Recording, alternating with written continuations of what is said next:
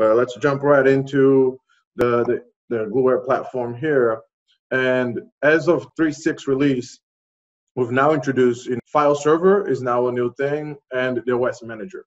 So, you know, how is the process that we go on the file server is, you know, we, on a per org base organization basis, we can give access to these file servers that are distributed. So in this case here, I go to system settings, I go to organizations, OS management, and for the active organization that I have selected, in this case is my Gluware organization, I have added um, a file server. So with this file server, now I can specify the ports and services to be used um, that I want to use to, to perform these file transfers. And again, these ports are open only at the time of the transfer that is being executed. Um, these ports are shut down otherwise, and you will not be able to to scan or be able to connect to this uh, to this communicate uh, to these ports unless you're doing a file transfer on that device. Um, down here, we have a sections to to um, enable catalogs, and with catalogs, essentially, uh, is where architects can test and validate their images in their environment, right? So you have your you have your environment before you push anything in your production. You have to validate an image.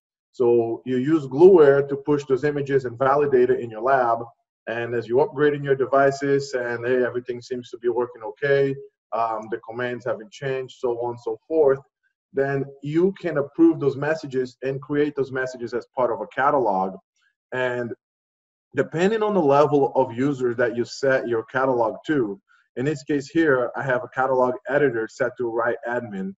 And any, and I set my options to use catalog is for all users that are subordinate roles, or essentially all users that have a less permission than a write admin, they must use a catalog.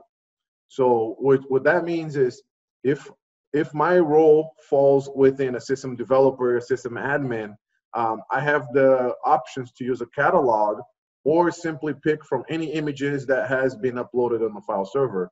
However, if a user is, you know, of a read-only or operations administrator, um, they they are not able to pick any images that are available in the file server. They're only able to pick images that have been approved and have been put in catalogs for the specific platforms. And then additionally down here, we have a plan execution. And we found that, you know, it depends on the user and it depends on the use case. In some cases, it's possible that you prefer to upgrade your devices in a linear job, meaning that, you know, hey, I decide to upgrade 20 devices and Gluware is going to perform this execution one at a time and it's going to keep track of the you know whether it's failure rates and success rates and if you want to abort after a specific percentage you can opt to do so. Um, but in the, most of the cases we found that our users want to be able to tackle more devices at the same time as they have a, a maintenance window. Uh, the network is scheduled it's okay to be down so they can bring down more devices at the same time. Um, so that's, you know, and that's once this, this system is set up here, then the next step is to jump into the file server. I'll go ahead and I'll jump into that. And in the file server is where I maintain the inventory of my images. Uh, within the within my images here, I can create new directories.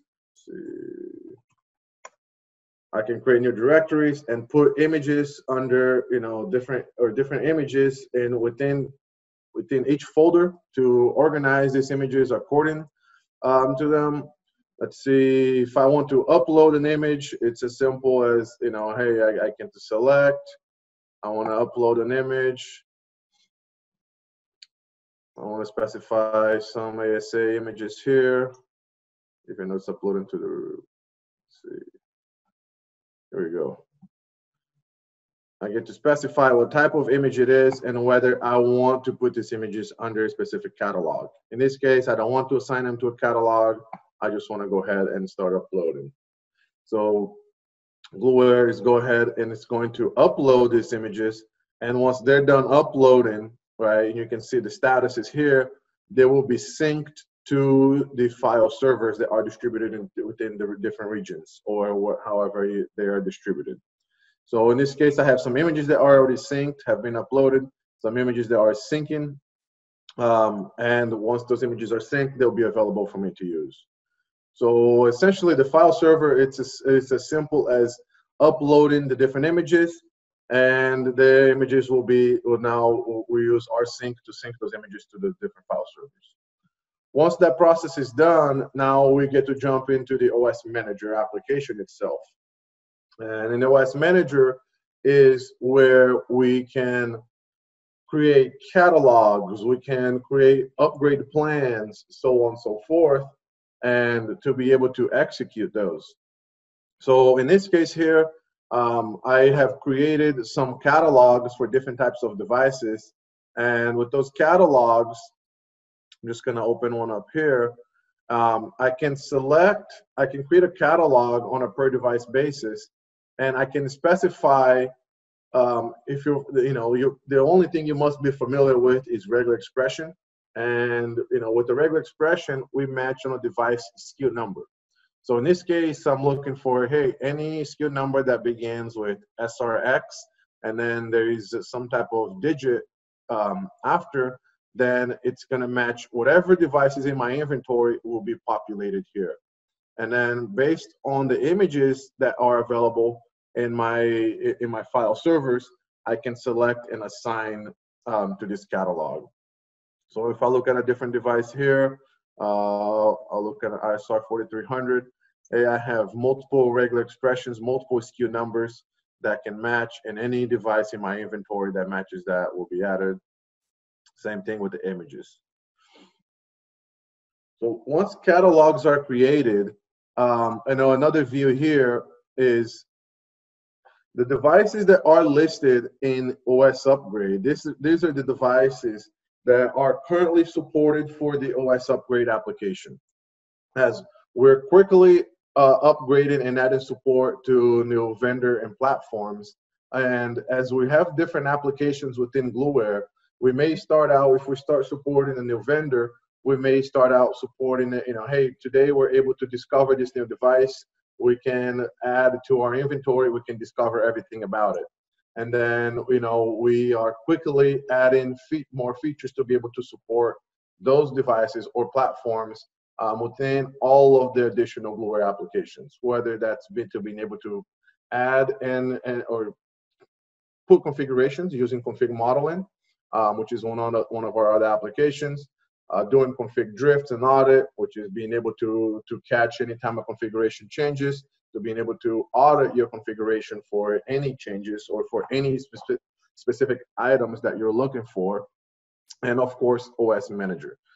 Uh, and that's to being able to upgrade your devices. In this case here, um, I may have, it's possible that in my inventory device manager, I have more devices than the 19 that are being listed here. The reason that the 19 are being listed here um, is because these are the devices that are supported by Gluware, and that's automatically populated. So once I have created, you know, I, have uploaded my images, I've created my catalog with my images. Um, the next step is to create uh, an upgrade plan.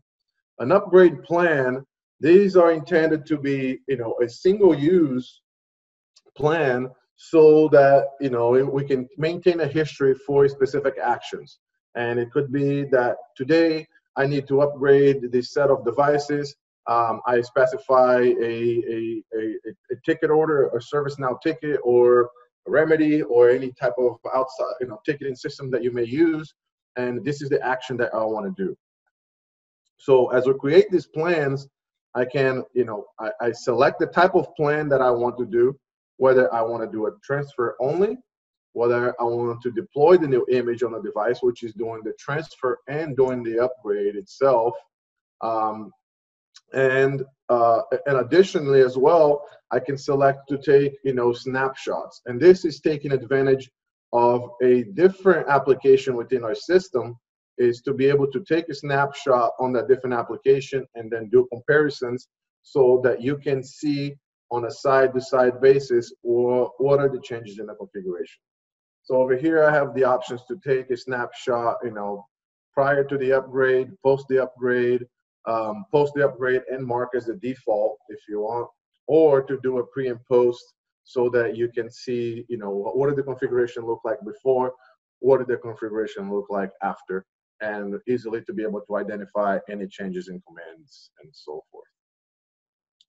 So in this case here, once I select the devices, they're going to be listed, grouped by SKU numbers. And as this is the, the first version, right, uh, of uh, OS Manager, um, you know, that was we've moved from OS Upgrade. Um, in, in this version, we currently have opted to uh, expose, you know, let's group devices by the SKU number. Um, but these fields here can be filled in based on any information that is figured out, anything that is already that has already been discovered about this device. You know, we can expose this to group by the you know devices that are running a specific OS version, devices that are that match this specific platform, this specific series, devices you know group devices by vendor. So this can be easily added. It's simply typing the column and then that column will be populated here. So once I've selected the devices, the next step is to pick, you know, for each type of device, what are the images that I want to select? In this case, for this 9500 series, um, I already have one selected, but essentially I get, this is the option to where I get to pick, hey, let's make the images available only from catalog or any of the images available within the file system. In this case, my user uh, I have enough privileges that I can do either or. But if I was a user that could only do catalogs, this would be the only option, and I would not have an option to pick from any other images. So this is where you have, hey, this image has been approved, has been validated, has been tested. Um, it's been working in our lab for the past two months. Now we're okay with pushing it to production, so therefore the image has been pushed to, to the catalog. So let me just back out here. So once I have completed and selected, you know, I can do the same thing for this device. Once I have completed and selected the images that I want to upgrade to, then the plan is ready to be validated. And as you can see, I'm not ready to to do uh, to do a, a, a to run the OS upgrade until this plan has been validated. Now, this validation plan is identifying the health of the devices, making sure the device, what the device is in the stack, right? Hey, does the stack look work okay? Or is the image, everything is communication with the file server okay? And it's it's it's doing you know additional checks um, before we proceed with the upgrade. So in this case here, the upgrade is completed, no errors detected. So I'm gonna go back and now I have the option hey, once this has been validated and this is the status of my plan, and I can either schedule it or run now, right? So I'll go ahead and do a run now for this upgrade. And while that's running, you know, I'll touch on one that I've already ran and kind of show and discuss over the logs, right? Um, what, what are some of the steps? And you can see the steps that, that Gluware is taking right? And we can follow the logs for those devices. Um, but I want to discuss one that has already been completed here. That way that I can talk more and show all of the details that go in the log. But as Gluware touches each device, there is a set of steps that are being done. And we keep the logs for, you know, we have the logs for each plan. And then within the logs for each plan, we have the logs for each device right? And that's from the minute that Gluware logs into a device, all of the commands that we're executing, whether we're identifying, detecting the device type, um, we're detecting whether the device, you know, any modes that the device is running on, and uh, you know, and determining the type of upgrade that the device needs. In some cases, we always try to we always code in we always try to automate based on the vendor recommendation upgrade path um, whether the device is in bundle mode or install mode we do what the vendor suggests for that specific platform um, but we the, the system automatically or the platform automatically determines on what to do, right? On which one to do and what's the best method. So in this case here, the device is doing initial detection. It's making sure that everything is okay, right? It's checking the state um, of, of, my stack there. And, you know, it's re returning all of the information that has found. We're able to detect, you know, the power modules, serial numbers, where they're located, so on and so forth. And you know and at the same time we're trying to to see what the device is capable of we're trying to determine whether the device doesn't have a running you know as the configure is is the startup configuration different from the running configuration right so we're checking for things like that before we we do an upgrade and an example of that and if i bring up this one here that i, I intentionally created a failing point um, to show how when the configuration is in a non-saved state, right, we make sure that, hey, Gluware will go ahead and stop that. So that we're not upgrading the device and any configuration that was made will now, will no longer be, um, you know, the, that configuration was lost or it could possibly um, bring the device offline. So as the file transfer, you know, as everything, the, the health checks is, is made okay, the system does, you know, identify boot statements. In the case whether the system is used um, an install mode, right, we check the boot statement with the packages.conf file. We identify the files that are referenced within the packages.conf file, and we verify to make sure that they actually exist in the file system, right, to before we are making any changes and you know the system is not being rebooted with missing files. Um, but the system is checking the, you know, whether there's enough storage. If there's enough storage, do we need to clean up the file system, right? So we do a file system cleanup prior to the install, and you're seeing here the system is checking, making sure that all those files are there. It, it checked, you know, the stack one, it's checking it's stack two here, and it's doing the same process. It will do the same process on however many devices that are uh, are a member of that stack.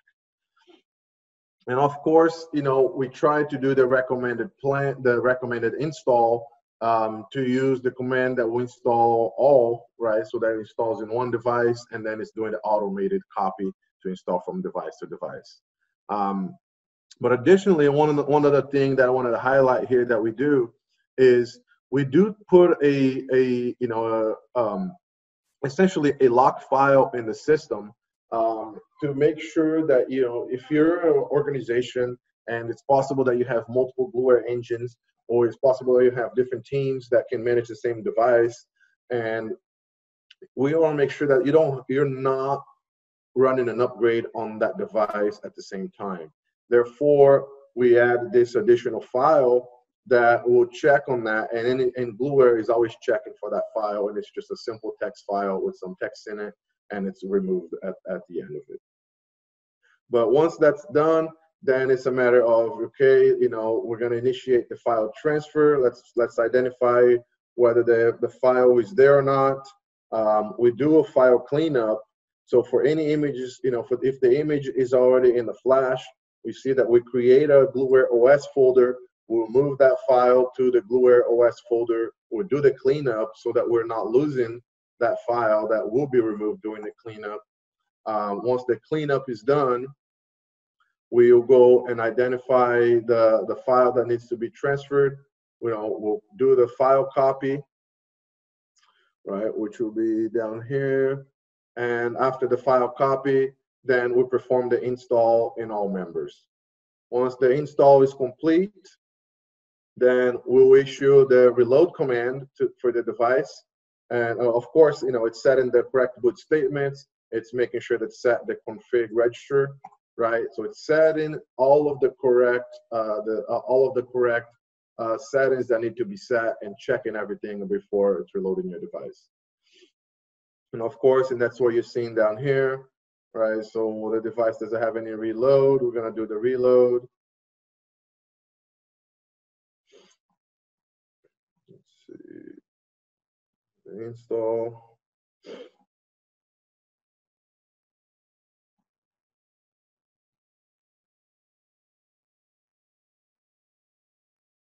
So this is the reload part where the system is reloading the device and it waits for the device to come back up. And then once the device comes back up, it verifies that, hey, is this the version that I intended to upgrade to? And only at that time, it will run the same set of commands that we ran before to identify the platform. Is everything healthy? Any additional pre-post health check commands um, that needs to be run, compare that data that needs to be sent, and of course, you know, whether I remove that lock, uh, the lock command that was sent earlier. Right, so this is one that was completed. Um, we have, you know, there's another one here that was up, in ISR. And if needed, we can check progress on the upgrade that we're currently running on here. And you just see that one of them is already in a reload, reboot and waiting for the device to come back up, while the other one is still, you know, it's tracking the, the package file transfer, so on and so forth. Right. So, and of course, if there is, a, in the case of a failure, you know, like this, in the case of a, a, a failed upgrade for a device, there is always an option to create an OS plan from failures. So meaning that, hey, for my devices that did not fail, I want to go ahead and try to troubleshoot it, or I need to go ahead and upgrade that device. Um, or in this specific case for this device, it had a, a, a configuration that was in an unsaved state. Um, so I was able to go on the device to go ahead and save it, verify that everything needed to be there, and I say, okay, now I need to go, you know, create a new plan for my failures. And from, from that point on, again, I get I can pick the image that's available in my inventory for the, or for my catalog for this specific type of platforms.